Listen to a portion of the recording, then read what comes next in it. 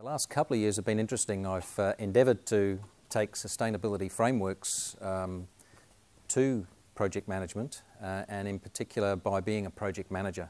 I figured out uh, in my work with Glenn that um, trying to put uh, sustainability frameworks into projects relied on being able to get the say-so of the project manager and it turns out that if you happen to be the project manager it's a lot easier argument. So that's the way, um, that's the way that went. Um, uh, but I'll, I'll, move into, into today's topic ar ar around the commons. I've, I've actually done an, an off-hatch, uh, uh off, uh, um, off CSRP, um, bit of research uh, in collaboration with somebody in the United States. And um, I, I've been doing that because I feel it has some relevance to extraction industries and the way that they um, interact with the commons. So what I mean by the commons is, is that common property that we all enjoy, the, the, the, fresh air, the, the nice rivers, and all of those sorts of things. And I know that in the context of coal seam gas, um, there's been uh, an, an, intersection or an interaction of the parties that has been uh, uh, sometimes not very smooth. So that's why it's been uh, interesting to me. So I'll uh, move to my first uh, slide. Um, which uh, looks a little bit complex, but uh, several years ago I, uh, I, I, thought about um, the intractable nature of the salts that uh, occur in the coal seam gas water that uh, is extracted um, ahead of and during the extraction of gas from the wells. And uh, at the time there was um, restrictions growing in government to the ability to store that water and to evaporate it and to leave the salts behind. And this uh, diagram was somewhat of an industrial ecology approach to how we might address the salts that lie in that water. So I'll just uh, move a little bit around. So as everybody I'm sure would know that coal seam gas uh, producers, the companies are interested in selling natural gas to, uh, to an LNG company who would then export it in Australia's case. That's their core business, that's what they would like to do. Uh, unfortunately, when they extract from the, uh, the coal seam gas fields in uh, Western Queensland, uh, they get this, all this water, and the water very often uh, has a high salt loading. So you end up with uh, a relatively intractable problem where they must desalinate the water to be able to use it beneficially, um, and that leaves them with the brine and uh, you can do some desalination. Uh, there's fairly simple technologies, uh, well-known technologies to do that desalination, as I'm sure you're aware. So I was thinking about what you might do with the water and with the brine at this time. So I'm talking about uh, 2009, um, 2008, 9, 10. and um, let's deal with the water first. Uh, clearly, a farmer might like to use excess water that might, he might not otherwise um, have access to but one of the problems with, uh, with coal seam gas fields is that they move, or rather that the, hole, the holes that are currently under production are not necessarily the holes that are going to be in production in two, three, five years' time. So although you might uh, produce some water in a particular locality, after a short time it moves, and you're having to move it further and further. So my thought was, well, uh, why don't we use that water for a beneficial use in farming. And uh, one of the things that I was dealing with at the time was pyrolysis of, of biomass to create uh, some sort of improvement for soil fertility and uh, in the form of a biochar. And biochar is becoming more and more uh, an accepted means of improving soil fertility as we, uh, uh, through those years, improvements of the soil fertility. And that would then lead me to the conclusion that if if the farmer was able to improve the soil, then later on when the water is no longer available, then the soil is more robust and that, uh, that farmer can continue to use their farm for the, uh, improved, the improved purpose. You can, uh, you can of course uh, supplement that with other things like uh, red mud and so on from a, the alumina refinery that sits on our coastline. That's another way to improve things. So let's move to the water side. Um, I, be, I, beg your pardon, the brine side. Um, and at the time, uh, a, a, modified Solvay process might well have been used for uh, creating uh, um, a beneficial use for the brine. uh, sodium carbonates perhaps, uh, you would need to import lime. And then uh, the calcium chloride could also be used by that alumina refinery I spoke of earlier. So in the end, you end up with a, um, a fairly intricate industrial ecology platform for improving the use of water and brine um, in the coal seam gas industry. Fantastic. So uh, everybody at Hatch was pretty uh, enthusiastic about this, uh, the, the, growth of this idea, and uh, I suggested that we might be able to investigate this and do uh, some basic engineering, perhaps, and costings and so on. And uh, everybody at Hatch thought that was a great idea, and off I went to, to, to see if I could do that.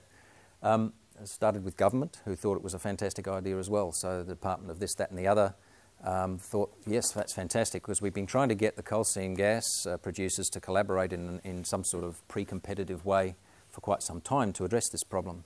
So they uh, supported the idea, and uh, we had joint meetings with several of the producers, and the producers listened very politely and then went away and did absolutely nothing about it. And uh, so I'm talking about 2009, 2010 now, and the conclusion was that um, there was no real incentive for them to collaborate. The, uh, um, the leverage that they had was, of course, was lots of jobs and lots of income, and, uh, uh, and the, the notion that you would hold up a, uh, a coal seam gas um, industry because of some salt lying around was probably a bridge too far, perhaps. Anyway, we got nowhere with it, and, uh, and so that sort of uh, went on the back burner. However, it got me thinking uh, um, about things. So this is just the same diagram, but with uh, the electricity added on the top. I won't, uh, I won't go too far there. Um, some months ago, uh, I, uh, I had some discussions uh, while I was doing a little bit of work at the University of Southern Queensland um, in the sugar industry, and it brought back memories of coal seam gas. Uh, that's because they have um, obviously a lot of additives to their farms, and those additives can run off, and uh, eh, the rivers that they run off into um, eventually impact on the Great Barrier Reef Marine Park. And there is, uh, there, there is an understanding that improvements are required to avoid um, some regulatory intervention, such as taxes or trading schemes, to limit um, the uh, the levels of, of fertiliser that escape into, into the river systems. So um, with that in mind and thinking about coal seam gas, um, I, I, was wondering, you know, what would, uh, what would we uh, be able to do?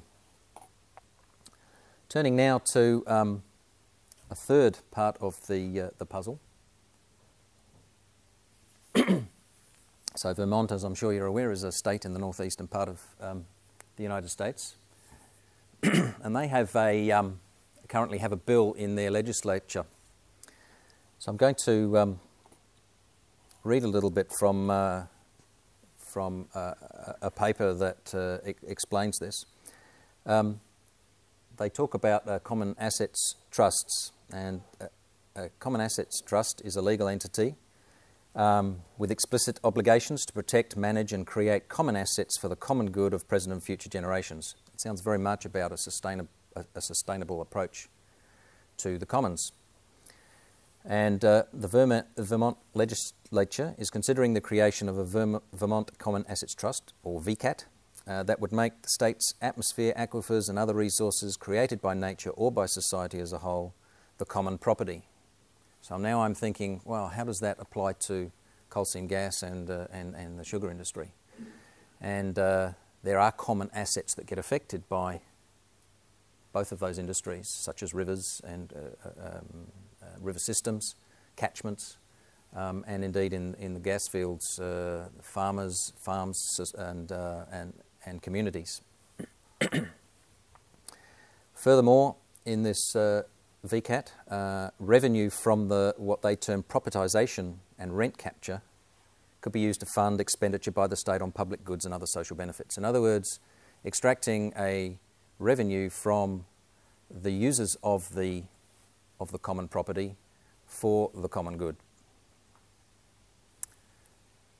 And that then got me thinking into some work that I've been doing since 2005 6 uh, with my friend in the United States around okay, so if that, if that works, then that's also potentially going to work in a slightly different way. We had been working around a very similar theme, but we had a couple of uh, interesting differences which I think make what, what Vermont are trying to do a little better.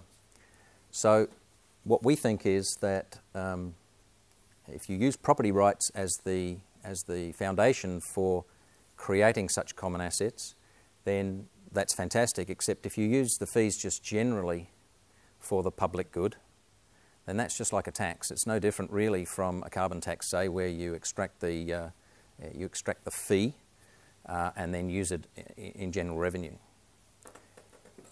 It also lacks what we call the firm and it lacks claims and expenses, which I'll go into in a moment. And, and, and hopefully when I, uh, when I do that, you'll, you'll see why we think that uh, a, uh, a, common property rights uh, framework uh, with, a, with a few tweaks from where the VCAT is, um, it, it is a better outcome. So I'll just take you through this little family tree of, of property. Um, property is, uh, is, is, something that's been developed over the millennia uh, of human existence. And so basically from left to right is somewhat chronological order and there's families of the way property is organised. And so I'll just take you very quickly through this. I'll just zoom in a little bit. So um, if you can imagine uh, traditional societies in a hunter-gatherer mode um, had very little private property. It was all communal. And even then, they had very little property itself because it's very difficult to, to take it with you if you're in a traditional society. So, very much uh, regionally based or family based type property ownership. Uh, a little bit, well, a little bit later, after the uh, invention of agriculture, we managed to develop society in such a way that we ended up with, if you like, um, uh, models that were quite small scale. There was no big government involved but nevertheless it was more sophisticated than the hunter gatherer. So things like city states and feudalism evolved. And eventually um, there was uh, advances on that around property, still no big government, and in the modern era that is, uh, that is still with us in the form of things like kibbutz and, uh, and community-based management. So community-based management is something quite prevalent in Asia, particularly in India and, uh, and Southeast Asia, where there are common, there are common assets that are owned by multiple parties uh, for the good of the community. And I'm thinking in particular of things like a common water tank for a village, which would be used as a, um, um, uh, for irrigation of multiple farms, and it's owned by individuals in common. That, that uh, area of research is well, uh, well, uh, well documented by the work of Elinor Ostrom, who's, uh, uh, who was, um, she's not with us anymore, she died last year, um, a Nobel Prize winning um, researcher in the area of common, common property. But that's a different common property than the one I'm going to talk about. That's uh, property owned in common. The one I want to talk about is the commons. So that's no reliance on central government. And of course, we now know the majority of the world has large governments. So, what, how does that handle? There are four, four streams. So, firstly, there's direct management, both private and common property. So, the, the uh, directly managed private property approach of large government is pretty much communism.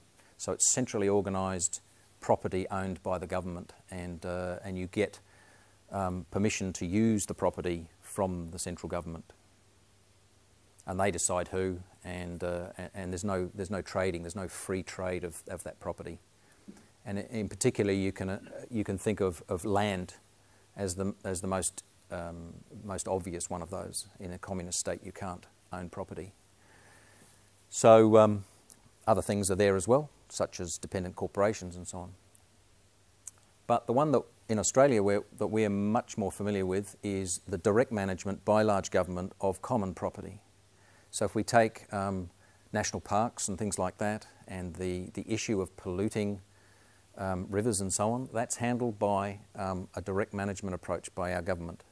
So if you like end of pipe regulations, beginning of pipe regulations, and indeed if number four right at the bottom there is market-based instruments. Those market-based instruments I'm talking about are generally in two categories. One is a Pigovian tax, uh, tax, such as a carbon tax, or a cap and trade type trading scheme.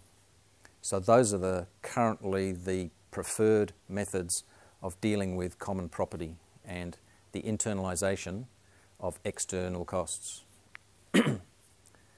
And as we know, they're not all that successful, at least not yet.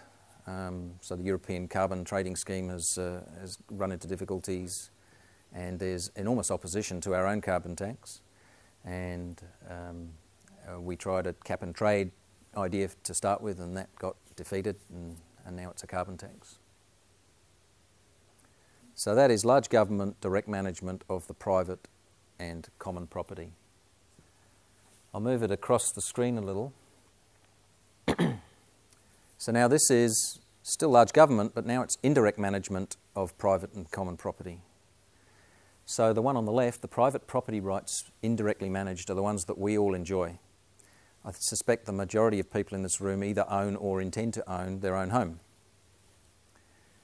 And by owning our own home, that means that we have the exclusive right to occupy a piece of land for a particular purpose, a dwelling normally.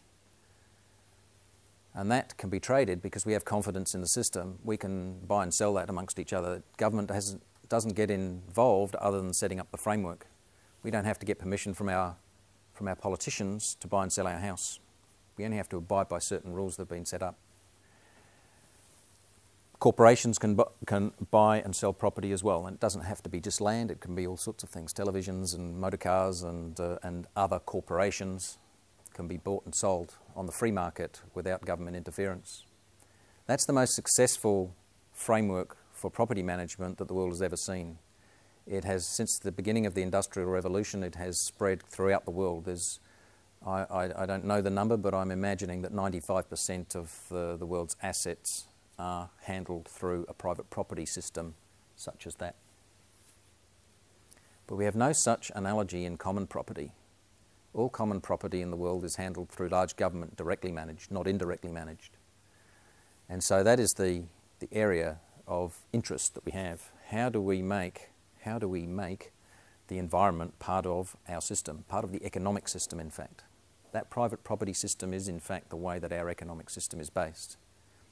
And if you think back to why I had so much difficulty getting our gas producers interested in an industrial ecology framework for handling the issues of salt and water, it's because there's no place in the economy for common, the commons.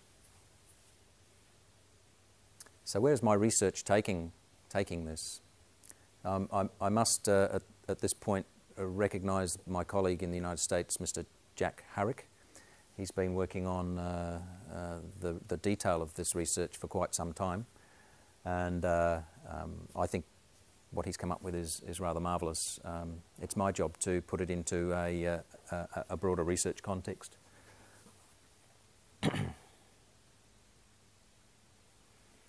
So I'm going to take you through four quick slides um, here on what that, what that research um, is proposing, um, and then link it to the, the VCAT, the, the Vermont uh, situation. So the first graph here represents um, one output from the work of, of a Peruvian researcher called Hernando de Soto. He, uh, he has done um, an awful lot of work in, uh, in the way that um, property private property, houses and land, is handled in third world countries as opposed to how it's handled in, in the first world. And in particular, he took five cities around the world, Lima and uh, Manila uh, being the obvious two. Lima is his hometown, and this graph is the one from Manila, and tried to understand why it was so difficult to um, have uh, uh disadvantaged, economically disadvantaged people own their own home. And in the five cities that he chose, there was a common theme extraordinarily long and arduous steps for formalising those, those property transactions. So in Manila, 168 steps to buy a piece of land, taking somewhere between 13 to 25 years and costing many, many years' salary for, the, for an average person. He put this down as a root cause of why there are so many informal settlements in cities such as Rio de Janeiro, Manila, Lima, Johannesburg, and I forget the fifth one. if it takes that long and it's that difficult to buy a chunk, how long does it take us to buy a house? We can get it over and done with in about six weeks if we really, if, if we really try hard, right? These poor people take years and years and years, which means that it excludes most people.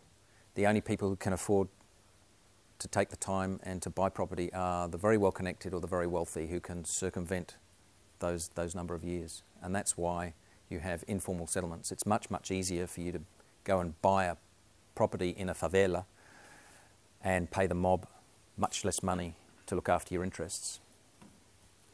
So De Soto was, uh, was, was a bit of, um, was a, bit of a, a revelation to me. And his work really illustrates Coase's theory of the firm. So from 1932, I think Coase uh, uh, uh, had a landmark uh, publication around the theory of the firm. And the theory of the firm talks about firms appearing, so companies and, and other organisations appearing when there's an opportunity to lower transactions costs. So those 168 steps and those number of years is all about transactions costs. That has nothing to do with the cost of the actual piece of land that you're buying. It has to do with the cost of actually buying it. And uh, um, it's extraordinarily expensive in this circumstance. And we, we have very much um, lowered transactions costs in Hatch. We're uh, around about, actually, we're a little less than 10,000 people right at the moment, probably about 9,000 or perhaps even less. Uh, people who uh, sell services to the, uh, to the mining uh, and infrastructure and energy in- industries.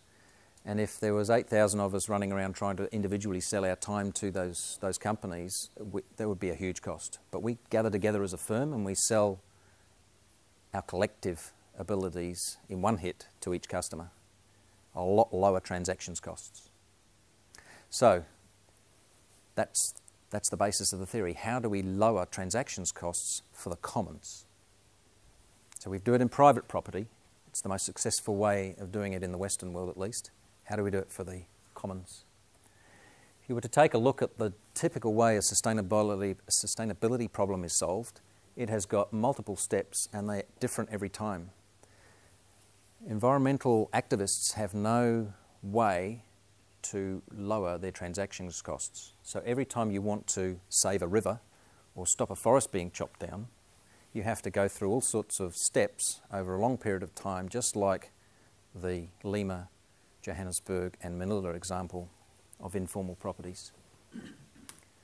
And so, with that thought, my friend Jack has created the thought that, well, let's try and lower transactions costs for the commons. And VCAT is most of the way there. So I'll, I'll change that slide to this slide. If we could eliminate all of those, those transaction steps on the left hand side and create a different system that uh, reduced all of those steps, we would have effectively lowered those transactions costs. So the sentence at the bottom of that slide is transactions costs can be an order of magnitude lower with common property rights because now most common property management transactions occur within the boundary of a firm, and we're going to call those firms stewards. You may have noticed I used the word steward on that property, um, property tree. Think of stewards as stewardship corporations.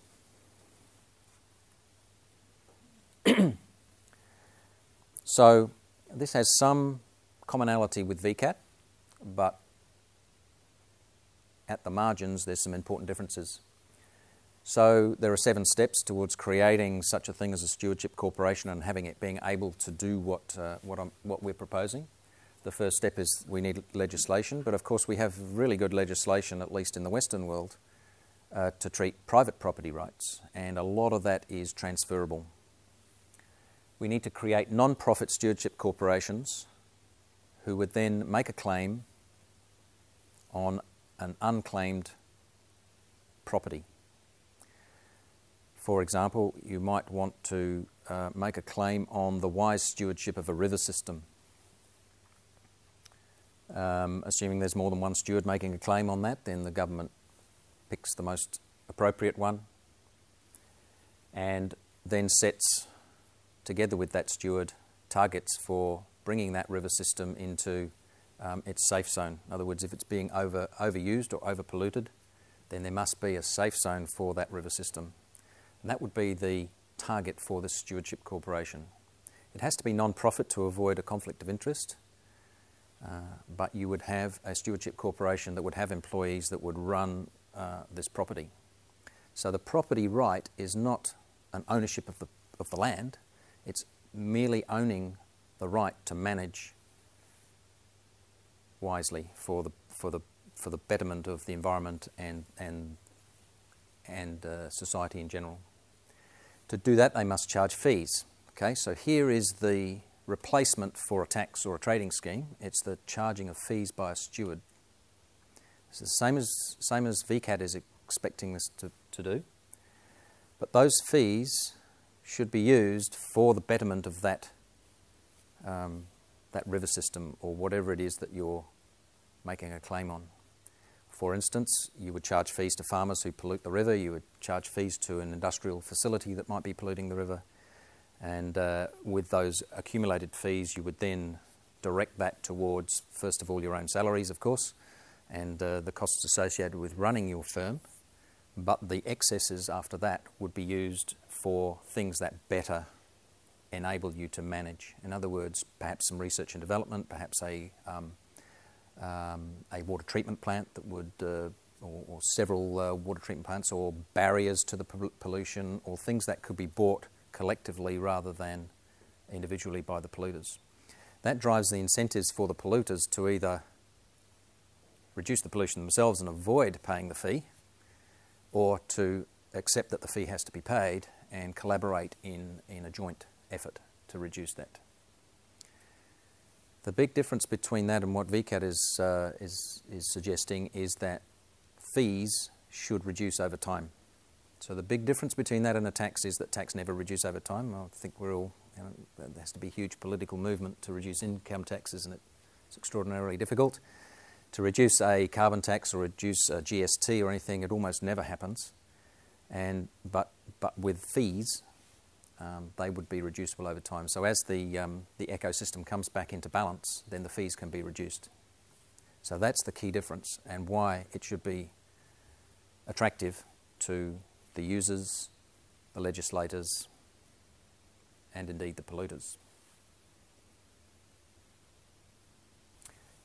Step seven is just the same thing that you would do in a normal firm, which is to monitor your results. So private property firms, uh, for-profit firms measure their results and try to improve, just as a steward would do.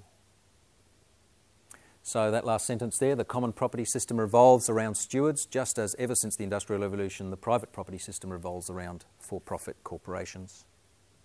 It's an, it's an analogy, and in an analogy, we have at least some confidence that there's, a, uh, that there's a way that it can work.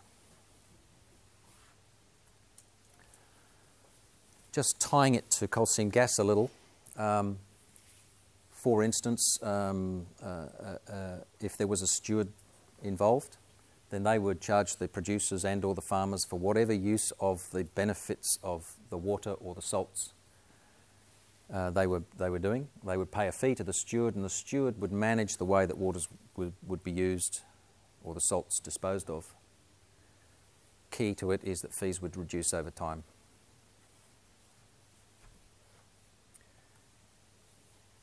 So coming to um, three concluding, concluding slides.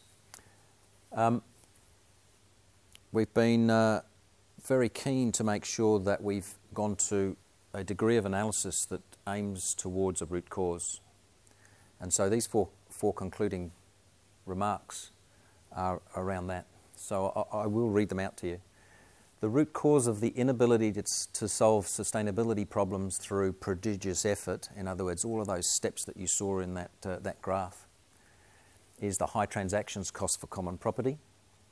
The hypothesis at the moment is that this is the main economic root cause It derives from transaction cost theory, property rights theory, and analogy to the Industrial Revolution, and of course that work by Hernando de Soto.